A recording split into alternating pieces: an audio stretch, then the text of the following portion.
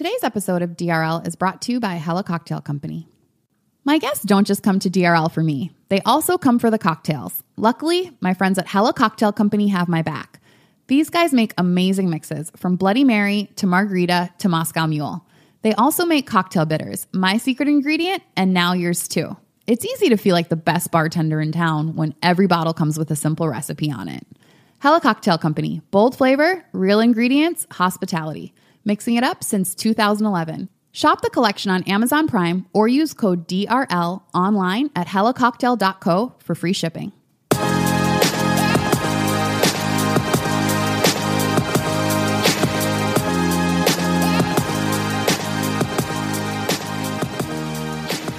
Hello, my lovely listeners. Welcome back to another episode of DRL, where we're talking everything dating, relationships, and love. I'm your host, Tennesha Wood. Today I have Arhonda with me. Hi, Arhonda. How are you? I'm great. Please tell us about you. So my name's Arhonda, and I am living in New York City and here visiting Puerto Rico. So it's beautiful. So, you are going through a divorce right now. Where are you in the process and what's that like? My soon-to-be ex-husband did not want to sign the paperwork, so I had to redo it so that I, he could be served. So I served him almost a month ago. Tomorrow, I'm able to finalize all of our divorce stuff. How long were you married? Nine years. We were together 11 years. We got married a year and a half after we were dating. Hmm. So we were married for nine years, 2010. And I left July 2019. How did you know that you wanted to marry him? I honestly just wanted to get married. I was 34 when him and I met, and I was at an age where I'm like, ah, I'm getting older. I want to have kids. Da da da. And the things that he was talking about was really like it sounded good. It sounded like he was marriage material. So it was less about what he said and more about what I wanted. So that is, I think, the projection that I had, like saying, Oh, I want to get married, I want to have kids. This guy wants to get married. Let's do this. So, the timing was right on your part. Absolutely. And at the time I was a the secretary at our church and it just seemed like everything was like falling in line. It was like, "Oh, he's a good man." Da da da. So I didn't really listen to actually what he was telling me. I kind of projected of what I wanted. I wanted a husband, I wanted a father for my children, and it was less about him saying, "Oh, I am on disability, I'm laid off, I'm this and that. I wasn't really hearing that. I was more so hearing the fact that he's like, I really want a good woman. I really want, you know, I Yeah. was listening to what I wanted to hear. So that for me, being transparent about what it was, that's what it was that attracted me to him. So, how far into the marriage did you start to listen to him and what he was saying about who he was? Oh gosh, I think it was probably about three years into the marriage um, where I started recognizing because the first three years I was like, I think I'm doing something wrong because our marriage is not what I anticipated it being, and there's some things that seem off. You know, What did you expect and what was actually happening? I expected a reciprocal relationship. I expected my husband to bring to the table, oh, I'm willing to provide for our household. You absolutely bring money into the household, but I am the main breadwinner. We, you know, you contribute, you pay whatever, half or whatever we agree upon. But when I started being the main breadwinner consistently throughout our marriage and there was no reciprocation, honestly, his responsibility was for our phone bill, our cell phone bill. That and Just less than two hundred dollars for yeah, two phones. yeah, had to but- guess. and I get a discount for my job, so there's a discount. You know what I'm saying? so it's not even that, but but that's what I'm saying. Like after years and years, it's like, yo, like I need more. Like, Why did you let more. that go in the first place? because I felt like I was married and this is this is my husband. Honestly, I believed in his dream. Like he is a great at what he does. He's really good at what he does. And I felt like okay, he just needs encouragement. He just needs, you know, I I saw I saw the purpose, I saw the promise in him and the potential. I married potential. Mm, I mm. married potential. That's a gem. I've heard Yeah. time and time again. You can't marry what somebody will be. No, You can't because it's unrecognized, it's unrealized. They may not ever get to that point. They have the potential to do it, but whether or not they do it is on them. Mm-hmm. And that was the issue. I married because I saw potential. At that point in the game, I should have been like, you can't, it can't be just about potential. Right. It has to be about some tangible Concrete. evidence. Absolutely. Yeah. Of what you can accomplish and what you're willing to do. Do you think on his side Mm-hmm. of the relationship, he was affected by you being the main breadwinner and sort of the person with the, the career and thriving in that way? Yeah. Did that, I don't know, maybe taint his ego a bit? I I do. I think that because just being just realizing who I am and seeing that I have some enabling um, ability, I enable. I don't help to a healthy level. Sometimes I can enable. So I do believe that me being the main breadwinner absolutely had an effect on him as in regards to him being quote unquote the man. You know what I'm saying? He felt kind of like, oh, I'm not really bringing much to the table. But because he had an extended ego, there was some sort of kind of weird thing going on with like, oh, I but I can control her because she wants to be a good wife. She wants to be submitted. She wants to be this and that. But then also on the same hand, but she's paying for everything. In your mind, was being a good wife sticking through everything no matter what and no matter how unhappy it made you? Yeah, absolutely. I, I I know until about year two, year one to year two was like kind of like, oh yeah, he's a good guy, and he did contribute where he could. Um, but year two and a half, three, up until year nine, it was like a, a downward spiral. I mean, it was really bad. It got to a place where it was very, um, I don't know. It was just like, it just got worse and worse. Mm-hmm. Where initially there was more money being made, there was more money being shared, and I, I did have to ask for things to be done, but there was more of a willingness and more of a like, okay, I'm going to do this for my family. Right. And then as it was shown that I was able, willing to enable, so willing to say, okay, you know what, I got this. You don't have it, I'll figure it out. Then there was more of a lax nature on his He got part. complacent. Absolutely. Totally complacent. So from year three, then when things started to kind of go downhill, to year nine when Mm-hmm. it you know hit the peak, why didn't you leave in between that? Like in those six years, like you know things were just progressively getting worse. Yeah. Like why did you wait? Yeah. So initially, I was at a place where I was like, well, maybe it's me. Because my, you know, soon to be ex husband, he's very charming. His personality is very persuasive.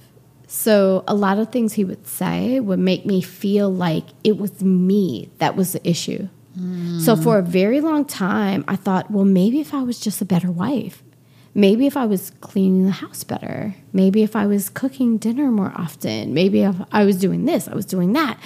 So, you just continue to try harder and harder and harder. Absolutely. Year two, three, four was more like, okay, I mean, I leave home for work at 7 a.m. I get home from work 7 to 7.30 p.m. Let me clean once I get home from work at 7, What was he doing from seven to seven? He was in his office working. So I did the hand, you know, Like office at home? Office at home. When I work from home, I never work. Shout out to the companies I used to work for. yeah, he worked from home. So there was this kind of, you know, I'm in my office, I'm working. And honestly, he would be doing stuff. Every time I came home, he was always, you know, arranging stuff or, or fixing stuff with um, maybe music or doing whatever he do- did at that point. He was always doing something. But what one of my mentors told me is that if you are not making money at it, it's a hobby. Ooh. It's not a job. Especially over the course of many years. Absolutely. So even though you were doing something, it wasn't a job because you weren't necessarily making money doing it. So for me, it was kind of like, okay, well, he's doing something. But then as the years progressed, it was kind of like, you know what? you got to have some fruit from this. And there's not fruit. So that's a problem. Yeah. Did you bring it to him in that way? Initially, I didn't because I didn't want to bruise his ego. I wanted to be respectful. I didn't want to be like a nag. I didn't want to stifle his creativity and want him to believe that I didn't believe in him. But it was urgent. It was kind of like, yo, like, really? Something has to happen. That's a tough line, you know? Yeah. Not wanting somebody to think you don't believe in them, but at the same time trying to enforce that, I mean, bills, ah, Hello. food, They come every month. etc. Yeah. You know, and I I do find it a little bit interesting that as a man when you're ready to get married, Mm-hmm.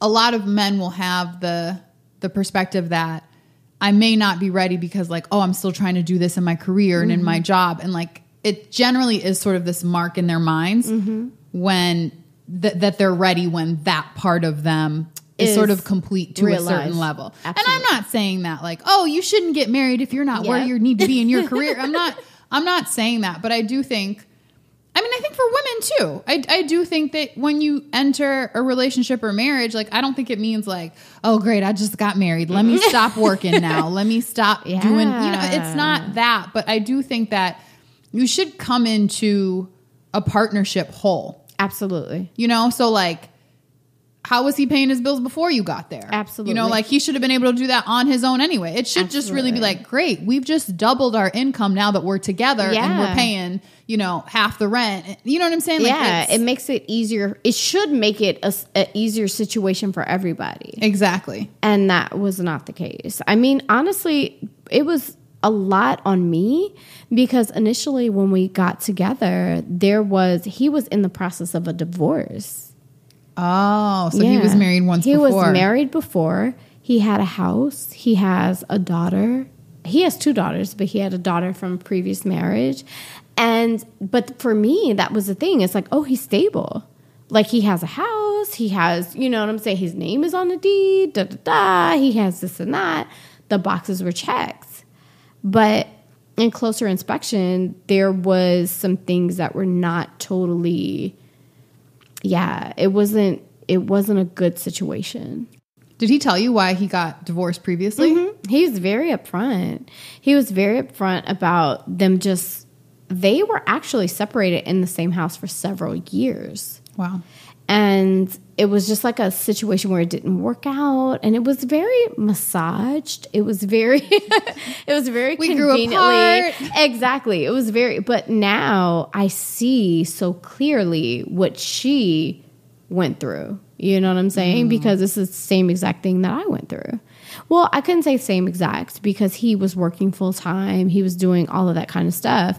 It was a little different in my situation where he was an entrepreneur and where there was more so, you know, he was not working a nine to five Right. where with her he was working nine to five plus doing his entrepreneurial stuff at night but with me he was full-time entrepreneur so it was more of a situation where i allowed for that freedom where the other situation did not One of the things that I've thought about recently is a due diligence. And so mm. typically when two companies merge, they do before they do the actual merging, they do what is called a due diligence process, which mm. is where everybody has to put everything on the table. So for mm. example, it's like this company has leases, the type of insurances they have, all the the, the profits, all of the losses, Everything. the last like 10 years of taxes, like it goes very deep and very detailed. like granular yeah, but everything is mm-hmm. then exposed so that the company buying the other company can then decide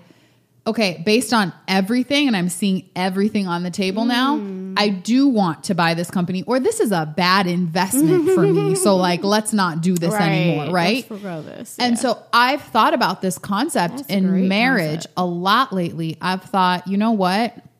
When I do get married, I need a due diligence process. Mm-hmm. You know, I don't want any surprises. I think Mm. that it's easy to go about in a relationship Yeah. without maybe talking about certain things you know, particularly like if you don't own property together, if you don't live together, you know, like any number of things, if you're not sharing accounts, Mm-hmm. a lot of things are separated, you know, by design. A lot of things are separated before you're actually like together in a marriage. Yeah.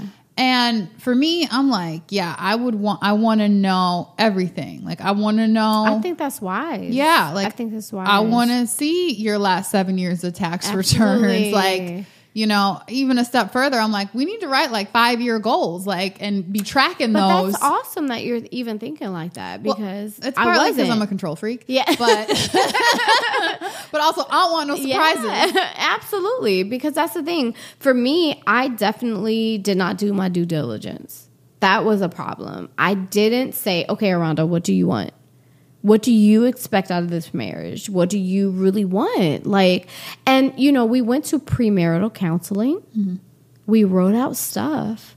But when I went and looked back when we were toward divorce, I looked back like, Dad, how did I get to this place? You what did you guys write out? Like, what do you do in premarital counseling? So premarital counseling is more so like what is your history?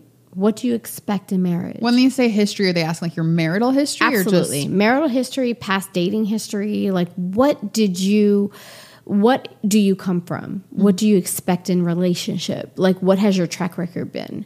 Um and honestly, a lot of the things that were said were very similar to what we said we wanted. Then as we were together, maybe it it changed. I don't know. I can't really speak what to that. What did he want initially? initially it said that he wanted to be the breadwinner. He wanted to real talk. I was like, yo, did I hallucinate? Like what, I am reading what is this going right. on? Leah, I, I literally before I left, um, I was like, like, how did I get to this point? And like, why did I think that this was so different than what it was?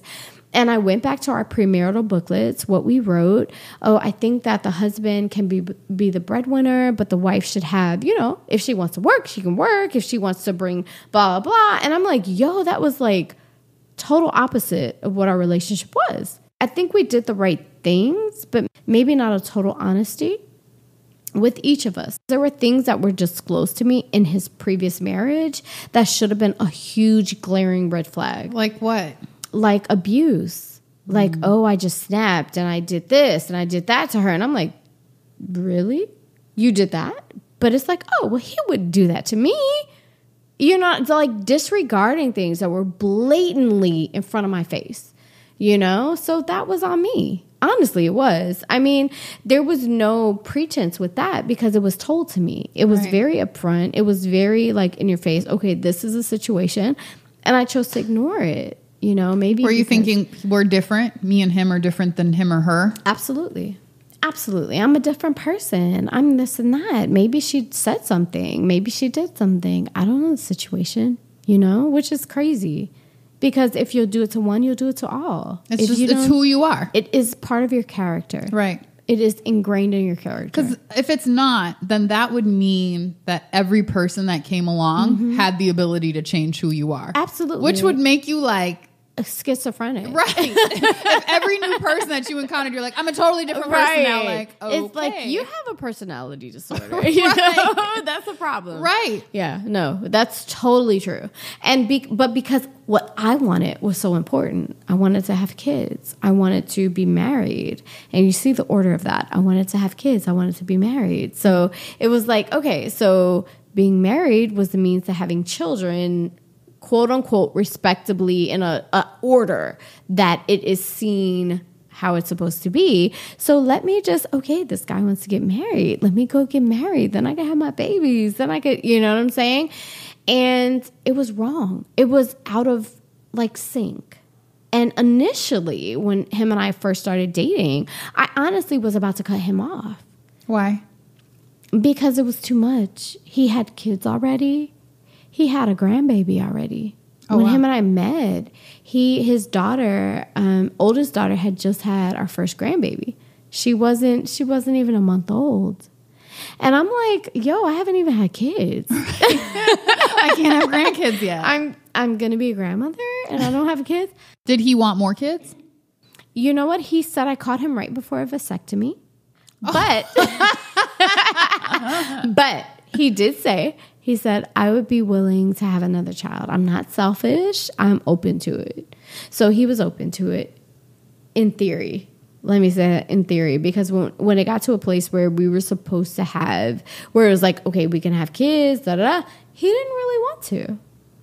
He didn't want me to go. Like, I had issues getting pregnant. We tried for like seven years. I had issues getting pregnant. He did not, he, he like, he like really buckle down. Like, no, you don't go to the doctor for it. I don't want you getting tested. I am not coming in to get. Did he end up getting that vasectomy? Are we sure That's it what was you? somebody Are we, else sure, are we sure it was you that had issues? That's what somebody else said. They're like, "How do you know he didn't get the vasectomy?" I was like, "I don't know. I never thought of that possibility, though." That's the first thing I thought of when you said it. When you're like, we were trying all that time. I had issues. I was like, mm, did, did she have issues? Was it really you?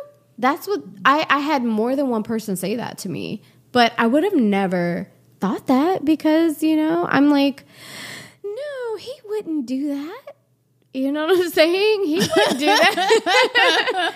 he wouldn't do that. He's honest, you know, but you you're right. It definitely could be that type of situation. But we tried for years and he never wanted to get me even to get testing. I did get a little bit of testing because I was like, yo, I really want to find out if there's something going on with me. Right. So I did get a, a test called a HSG to make sure my tubes were open and it- they are, you know, things like that. My ovaries look good, da da da. But he never wanted me to go get any other testing. So it was kind of like I was suffering with this by myself. I wanted to have babies, but you know, looking at it in hindsight, it was such a good thing that I did not have Well, children. yeah, because then you'd be forever oh, linked to Oh my him. gosh, forever tied to him. So it was a it was a blessing in disguise, even though I was really angry and sad and broken, and it caused a lot of doubt within me. You know what I'm saying? Because as a woman, you want to have kids. Right. You know what I'm saying? Well, most women. I'm not gonna say all women because I have friends that don't want kids, but um, me personally, I wanted kids, and it was like, but I couldn't even find out if there was an issue. So why didn't you just go anyway? because it would have been hell to pay. And that's sad to say, but it would have been. It was always an issue of if there if I did not do what was quote unquote wanted or what what he thought was the right thing to do, there was punishment. And not saying necessarily physical, it was more emotional abuse, more like silence. He would not talk to me for a week. He could go come in the house and not speak to me at all. And he would go right into his office and not say anything to me For a week? for a week, walking past each other, sleeping in the same bed, not talking to each other. And it was for me, I'm a communicative person. I like to communicate, I like to talk. I like, hey, how are you? I'm just very bubbly, very open. And not to talk to somebody is like death, Torture. absolute torture. Yeah. So how would those sort of silent retreats end? Like, Mm-hmm. how, would he start to talk to you? Would you start to talk to him, or would he just get over it, or how did that? I would always try to talk, always try to break the ice, and then eventually he might say a couple words, and that's how it would break. He would break it when he wanted to. You know what I'm saying? Because even if I talked to him, he would answer one or two words. It wouldn't be something that he would have a conversation with me. If he didn't want to talk to me, he wouldn't. And then if I say, like, why are you acting so weird? Like, why don't you talk to me? He'd be like, silence and walk in his room. Yeah. So it was, and he literally had another, he had an office. So he had a room in the house to go to and he would close the door. Do not come in my office. Sometimes he would lock the door. Don't want anybody to come in. So it was really bad. Were you talking to like friends or you know family You as know this what? was all going on, or did you kind of No, keep it to yourself? I isolated, absolutely isolated. And honestly, I isolated from most of my friends. So when when I was married, I have friends that I've had for years, but I didn't talk to them. I didn't. I didn't even reach out to them. So the turning point for me was when I got I started saying, "You know what? I'm super unhappy. I really need to branch out and work on myself because I can't change how he is and I'm married. I can't change him. Let me change myself. Mm. I started going to therapy, and I have a mentor that was somebody that was a friend of ours from years before me and my husband, my soon to be ex husband. And I was like, well, let me reach out to her. she had actually been through a divorce and she had been in a similar situation. So her and I started talking, and she was so pivotal in saying, Arhonda, you don't deserve this. Like, Arhonda, this is not consistent with what a husband should be doing, this and that. Like, pointing out things mm-hmm. because when you're in an emotional and mental abusive situation, you start to question who you are. You start to question what's right and what's wrong. And like, is this my fault? Like, I know it's wrong for him not to talk to me for a week, but did I do something to create that situation? And especially when you're in a position that you were where you're isolating yourself, Absolutely. there's really nobody there to tell to you that this isn't right. And then so you're just sort of caught up in like his world and your world. Absolutely. And within that world, it seemed somehow right. Yeah. It, it was weird because it was like I was double guessing. I'm like, this doesn't sound right. But is this me? is it me that's really like off? Like maybe if I'm a better wife, quote unquote, if I cook more, if I clean more, if I do this, if I do that, then I'll be a better wife and maybe our relationship will be better. But the more I did, the worse it got. And then I started going to therapy. Did he know that you were in therapy? He did know. He did know I was in therapy. And then one time when we were really in a bad place, I was like, You won't even come to therapy with me because we were going to do you know, couples therapy or whatever. And I was like, You won't even do therapy? And he's like, Well, I'll go with you. I'll go. You haven't asked me in a while. So we ended up going. And while we were in therapy, my therapist at the time was like, Well, why are you here? He's like, Well, I'm just here to see who my wife is talking to. so I'm just here to exhibit the controlling behavior that she's probably been telling you about. So here it exactly. is. exactly. Here it is. In the flesh. and she was like, Arhonda, she was like, I was so ready. Like he was, he refused to come back. He said, but I'm not coming back because I don't need therapy, but I think she should continue seeing you. Anybody that says they don't need therapy needs Probably therapy. needs therapy. Needs therapy. Absolutely. For sure. Absolutely. So it was my my therapist at the time was like, when I came back the next time, she was like, Where's Tony?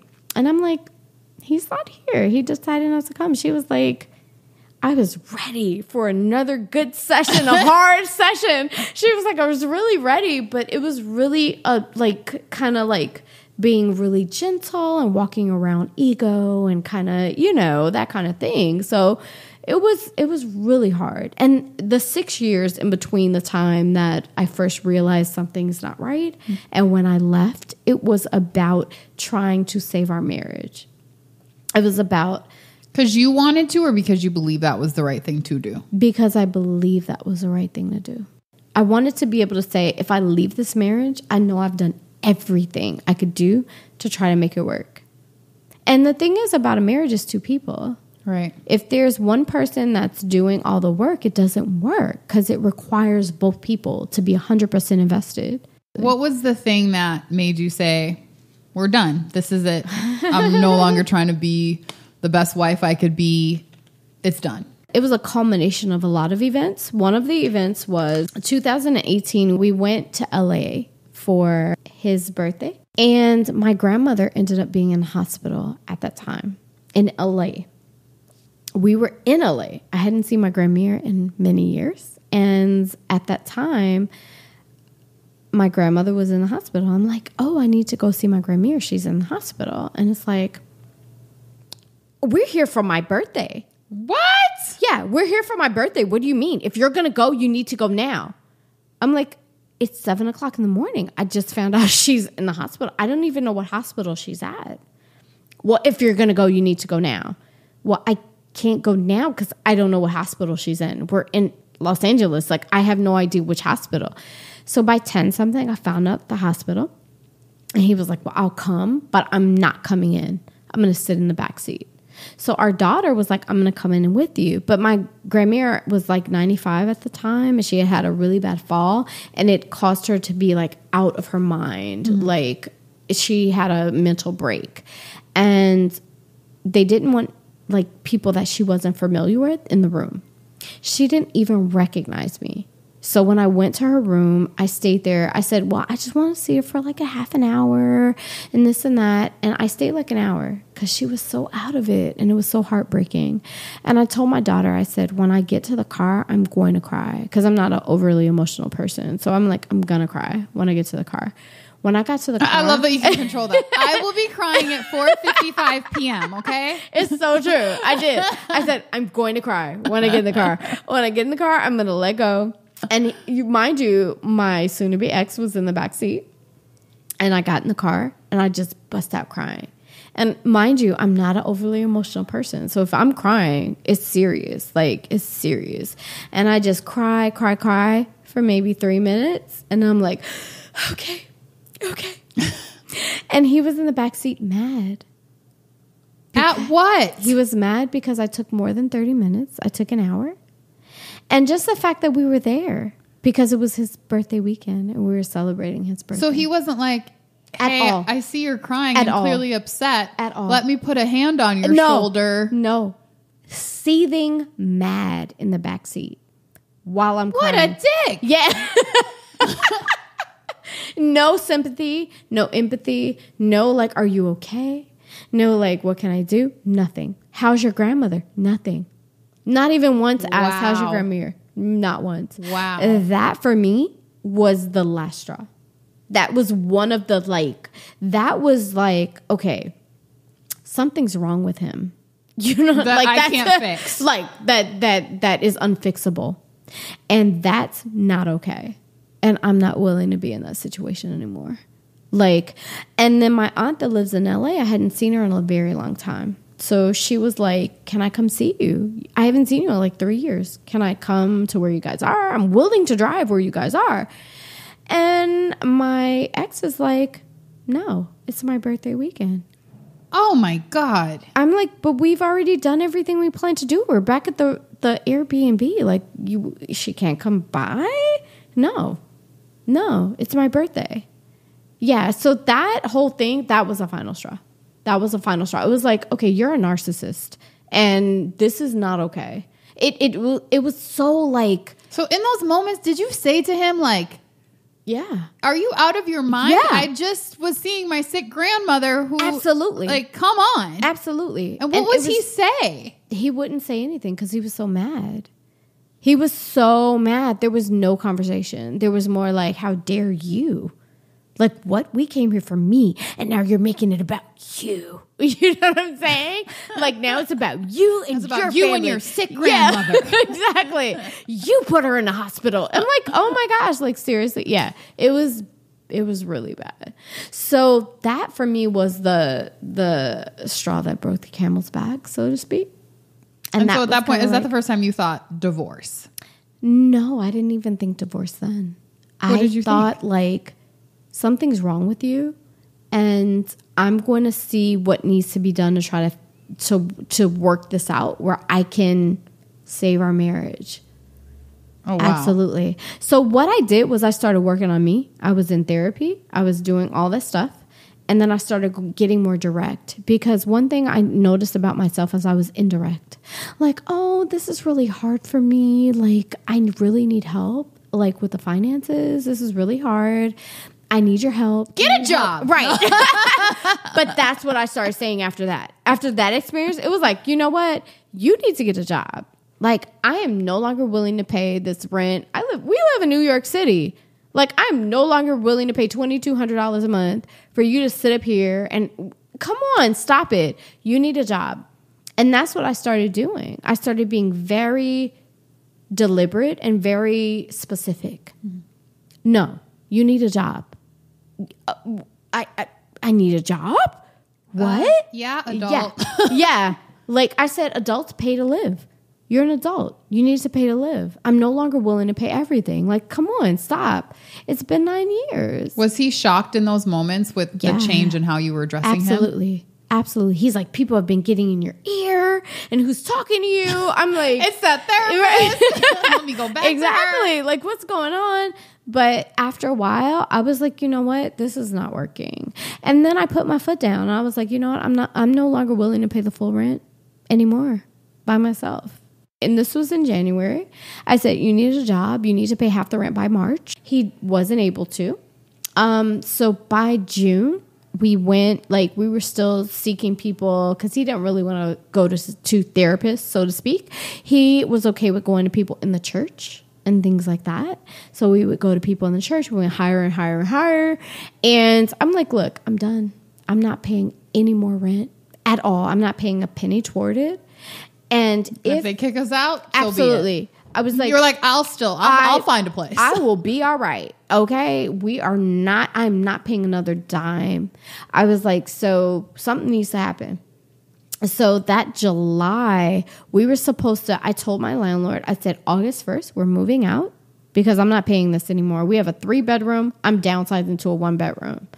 And he's like, no, we should get a two bedroom. Were you planning on downsizing to a one bedroom for just you? by or- myself? Okay. Yeah, I was planning on by myself, but he's like, no, let's look at a two bedroom. I'm like, but no. still planning on keeping the marriage at that point? Just at that living, point, I was kind of like, well, I could still keep the marriage if you know if he's willing to do some things to work on himself, and if he has half the rent for us to move. If he has half the moving cost, I'm okay. Like we could still work towards something, hmm. but you're not do- you're not financially doing anything. He was saying he wasn't willing to do it. So I'm like, no. I'm not I'm not willing to any longer stay in this situation. I'm not. It was so difficult.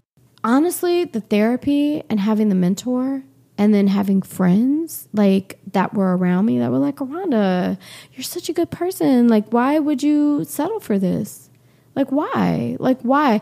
And it was just about me being married. I didn't want a failed marriage. I never thought you don't want that D on your chest. no, I never would have thought I would be divorced. I never, and, and for me to initiate it, that was never a thought, ever.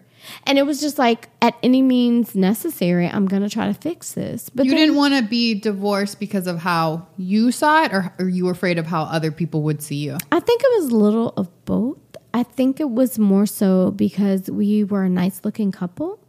And it was like, you know, I mean, not just- funny, but it's kind right, of funny. It is funny. We look really good We look together. really good together the pictures.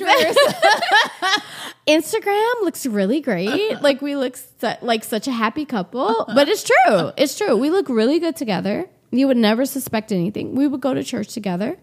When um, the pastor would pray, we would hold hands. He would grab my hand. You know what I'm saying? So it looked good. It was more so about the fact that I'm like, we can work through this. You just have to be willing like I'm not the same person that I was when we got married. We all evolve. We all change. You know what I'm saying? We have to be willing to evolve together. But there was no willingness. It was the dichotomy. It was what people thought, but more so it was like I want us to work at whatever we have to do to make this work. But if I'm the only one doing that, it doesn't work. Doesn't. It doesn't work. So wait, so what happened after that lease was up? So I actually ended up leaving before the lease was up. Oh, wow. Because he got violent. His grandmother passed away Fourth of July, and I loved his grandmother. I loved her, and he was kind of off because of that. He got violent with me because he was asking about where our relationship was going, and I was basically like, "Look, I'm tired. I'm not." I'm done. I was so dry. I was just at the point where you know where you get fed up, You like where stop you're at the yeah. I was like, what? I'm done. I'm kind of done. And he was just like, oh, well, it feels like you're done, da da da. And, you know, he's like, have you told your father? And I'm like, no, I didn't tell my dad yet. He's like, well, I'm going to call your dad. I'm going to tell your dad what's going on. And I'm like, Am I like 12? right. You're going to call and my that's, dad. that's what I said. I said, I'm not a child. You're not going to call my dad and tell him what's going on. I didn't tell him because I didn't want to worry him. My dad was sick at the time. I don't want to call my dad and worry him. He's like, yeah, I'm going to call your dad and tell him what you're doing. You're talking about leaving and da da da da. And I'm like, what did he think you're like? Wait till I tell my dad all the things that you've been Yo. doing. He would have been told me to leave. That's exactly what I said. And this is what happened. I was like, you know what? Whatever. I was like, I'm not gonna sit here with you and argue with you. This is stupid. I'm I'm grown. You're not gonna tell like you're gonna tell my dad on me. I'm not a child.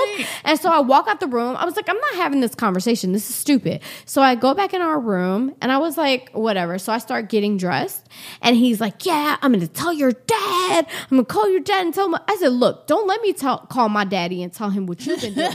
That's what I said. Don't We let want me to call, dads. I'll Right. call my dad right now. Don't let me call my daddy and tell him what you've been doing. And that like lit him on fire. When I say he ran over to me like he was gonna hit me, and I had a, a golf club, a three wood in the corner, and I, I grabbed the three wood. I was like, look, back up. I was like, back up. I will not be a victim. I was like, if you hit me, I'm gonna bust you in your head. Like, I am going to, I was like, seriously. He's like, hit me, B. Like, he was like, like squared up, like he wanted to fight. oh my God. Yeah, like fist up, and he was enraged. Like his eyes was like, "Yeah, hit me, hit me," and I'm like, "This is crazy," because we weren't even arguing. We weren't arguing. It was so like instant. It was like, bump. I said that, and he just got enraged, and I'm like, "So how scary is that? We're in the same house. If you're thinking about something, you could just get enraged." And come And choke me. kill me. Yeah, and that that's how I felt. I felt like this is crazy Like that could have been my life right there. absolutely, absolutely. And I I just was like, you know what? I was leaving for Chicago like two days after that. That happened in July, July 9th. I was leaving for Chicago July 11th. So I was like, okay, maybe I'll be okay for the next couple days. So I kind of laid low, didn't really argue, kind of, you know, tiptoed this and that when I came back on July 15th, I was like, oh, maybe I could wait it out until the end of the month. Because mind you, August 1st, we're moving, right? We're separately. We're moving separately. And when I tell you July the 17th, So two days after you've been back. two days after I was back, he started texting like, because I was blessed with a car. I was given a car, hmm. very expensive car. And he didn't know that because I didn't tell him. I didn't feel safe to tell him.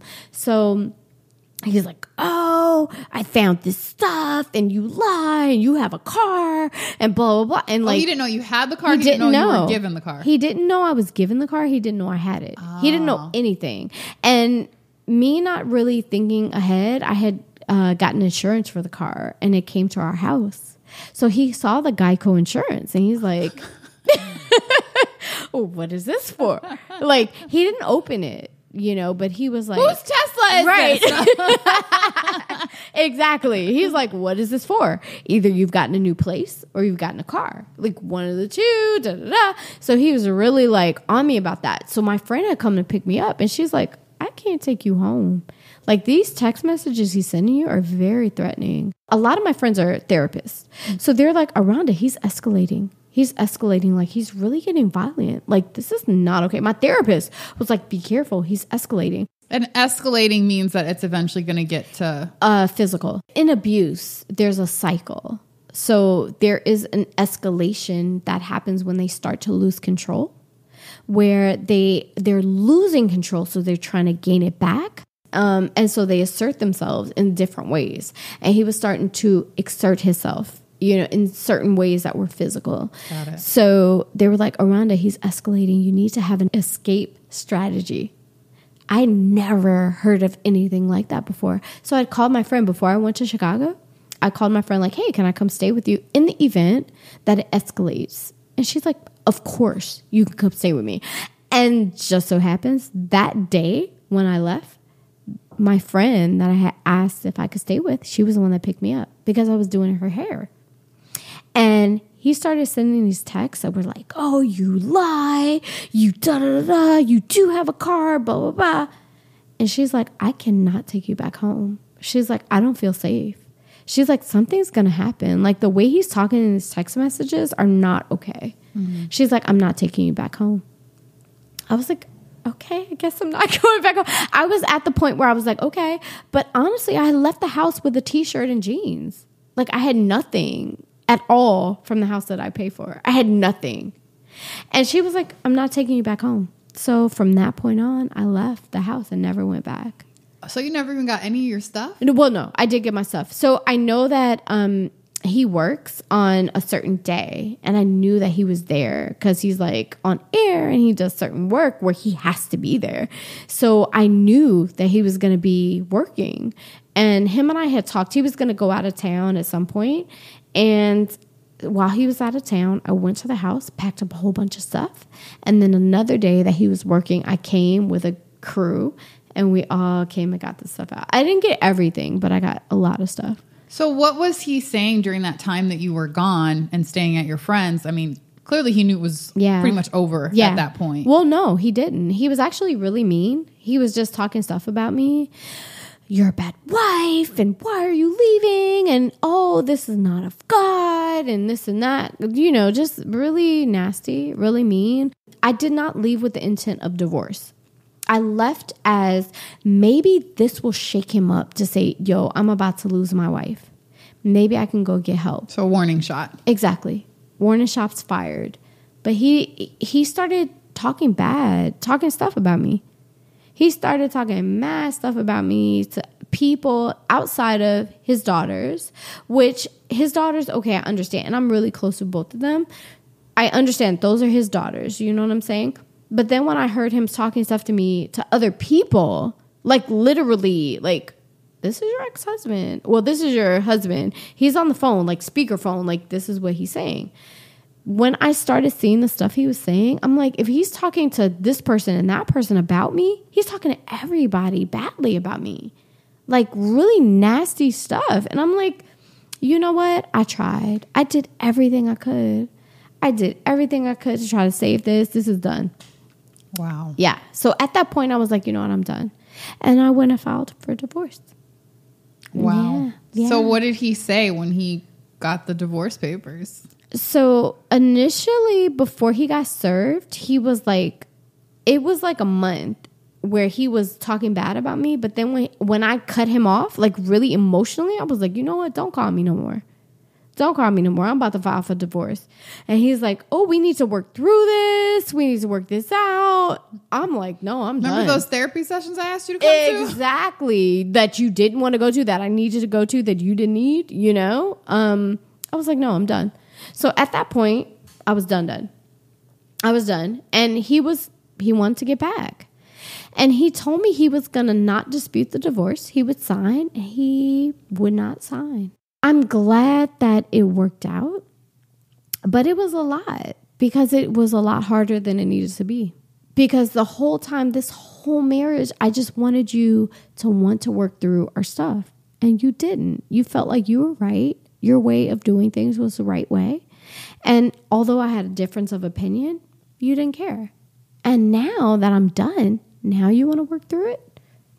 Sorry, no, not interested. So, nine years in this marriage, Mm-hmm. many of them you either tried to fix yourself or make it work Mm-hmm. or mend.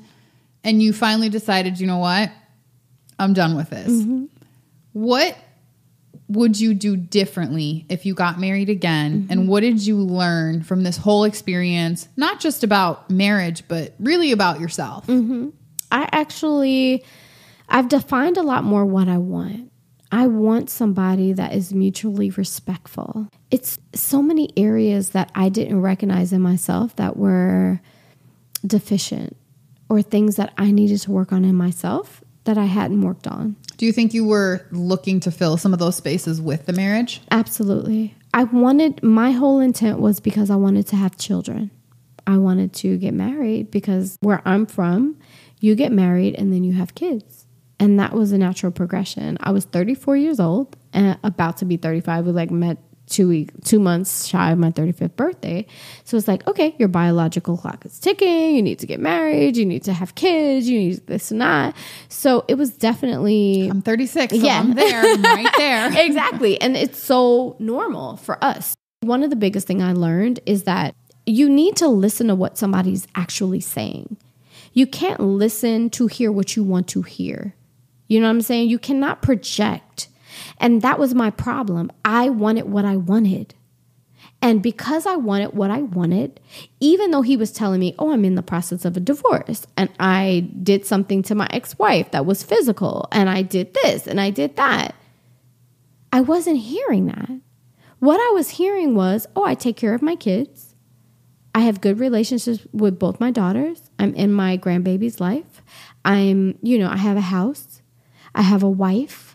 I have, you know what I'm saying? Even though we're getting a divorce, but I'm looking at it like the glass is half full. But I'm not hearing the stuff he's telling me that's like, wait a second, glaring red flag. Mm-hmm. You know what I'm saying? Because I'm projecting. I'm saying, I want to get married. And this man, he's been married. I know he wants to marry He me. knows how to do it. Exactly. He's been there before. He has a house, he has kids, he has everything I want. Why not?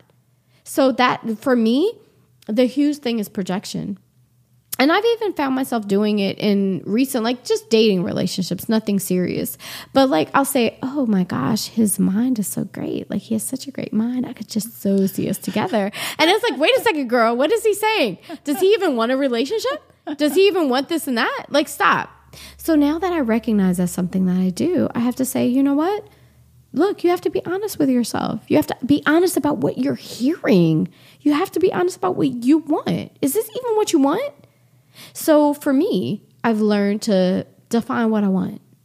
Do you want just a guy that you can just see whenever and just have whenever and, you know, have an open relationship? Because there's so much in the spectrum Absolutely. of relationship. Because it seemed like before you were just mm-hmm. like marriage. Yeah. That is it. That's That it. is the end all all be be all. all. Yeah. But now you're sort of in the place where you're like, there's a myriad of things that I can have within the spectrum of relationships Yes. from single to being married, but there's so much in between Yep. that. Yep, absolutely. And that's that's the thing. It's like like forging my way to figure out what it is I actually want.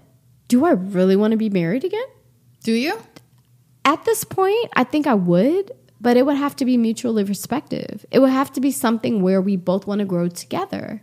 So I would definitely be open to marriage, but it would have to be a very specific kind of person that was open to therapy first and foremost Working on themselves. working on themselves. They would have to have they would have to be established. They would have to have their own a job. a job exactly, and not just a job, but just be established on their own. I want somebody that has taken care of themselves. You know what I'm saying to some capacity. So I'm looking at things a little bit differently. I'm saying, what is this person's track record? What does this person bring to the table? What do I bring to the table? You know what I'm saying? Not just what they're saying in the moment when they're in front of you and all the things they want to do and be. That can sound good to them, but that might not be really true and in the scope of what they're doing in their life. You've got to look at, like you said before, what's concrete, what's actually happening, what's actually there, not yes, the fruit. not like what we hope, not what we think, but just what is actually right in front of me right now. it's so true. What advice would you give to somebody who maybe where you were 10 years ago, where mm-hmm. their goal is I want marriage, I want a family and you know, everything else can come secondary to that. Mm. I would just say just sit by yourself. Write out how you see your life in 10 years. Then also write out the qualities that you want in a husband. Not thinking about your current partner. What do you honestly want in a husband? And what do you want in a partner?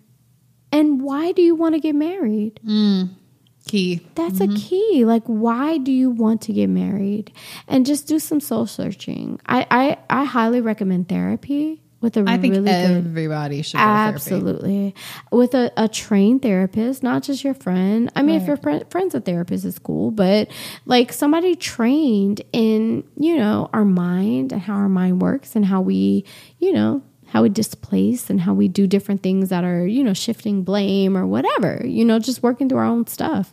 I, I like what you said about asking yourself why you want to get married. Yeah. Because I think for so, so many important. people, especially women, mm-hmm. it's it's just like this thing that you Yeah. do in life. Just because. and we never stop to say, do I actually want this? Yeah. Or have I just been told by Yeah. my family slash society slash whomever that this is what I should have. So therefore this is now what I want. And I'm chasing after something that do I even do want I even it? want it? or have I just been told that? Yeah. And so I think that's so important just to sit down because marriage, the thing about marriage, it's not easy. no. You know, it, it's cute. Like the wedding day is cute. The wedding like, day, that's one day. Yeah, Like, but it's not like an easy thing. No, And I think like people need to recognize that. I think there's this sort of fairy tale projection of Mm-hmm. Absolutely. marriage Absolutely. where somehow it's like everything that I've been through while dating and all the ups and downs, it has finally come to this. And it's, you know, And all the it's heartache is over. And Yes. it's like, no, dear, it's just begun. Because now you could leave anybody you're dating at any point, no questions asked. But now, like, you're in it. Like, this Yes, is where this is it. It gets hard. Yes. And I don't, I don't think people have that view of it. a lot of times we don't even know what a good marriage looks like. And we're trying to emulate something that we have never seen. Right. What does that mean? And then also in black communities and communities of color, the stigma behind therapy is so huge. So people when they're in a desperate situation where they're not communicating well and where their relationship sucks, they don't want to reach out to therapy because like keeping this house what's in this house and you know that kind of mentality and it makes it leaves everything broken for no reason. For no reason. And that's a problem. People don't really even see what marriage is about and how hard it is and how much stuff you're going through. Because once people get in it, Yeah. they keep everything slow close to the cuff. And so all you see is the Instagram photos where you're like, that's a beautiful family. and they're But- so cute. But yeah. nobody talks about just how hard marriage is. Absolutely. I'm just thankful I've been educated on this Yeah. Mm-hmm. podcast and talked to a lot of people about it. So so th- now I'm at the point where I'm like, I don't know if I want that. I don't know. I don't know. Like I, I've heard a lot of people say a lot of things. Yeah, it's no joke. It's so many factors that go into it. And then also considering that we change. We're not the same person. We're growing, we're learning. You have to be intentional about your marriage. But it's not easy. so what's next for you? Are you like dating right now or are you I am not dating. I mean, I'm kind of like open to dating. I'm not specifically dating anybody, but I'm I'm open to it. I'm definitely open. Um I just I'm healing. Yeah. I'm definitely healing. I was in a relationship for 11 years that was dysfunctional. So I'm working through my stuff cuz obviously I contributed. I want to work on my stuff, you Right. know, but I'm definitely open to dating. Yeah. nice? Yeah. I'm excited about it. well, I'm so glad you came on today and shared your story. you. Thank you for being so honest about everything that you've been through. yeah, thank you for having me. And I'm me. glad that you're like out on the other side and Me too. you know happier. Yeah. Yeah. I'm, I'm, it's like a weight has been lifted. Can people like reach out to you on Instagram? It's Aronda's World Food. Um, so A R O N D A World, R O L D S, and food, F O O D S. I do food vlogs. I do just inspirational posts. I Oh, do. that's awesome. It's actually everything travel, it's all types of things. So I'm just really, I love life and I just want to show it. Yeah. That's awesome. and you guys, please reach out to me and let me know what you think of today's show at Tennesha Wood on Instagram, Facebook, and Twitter. And until next time, wish me love. Hello again, my lovely listeners. Thank you so much for tuning in to today's episode of DRL. If you like the show, be sure to go on iTunes and leave a rating and also write a review. And don't forget to share with your friends and tell them all about DRL. Thank you so much for supporting.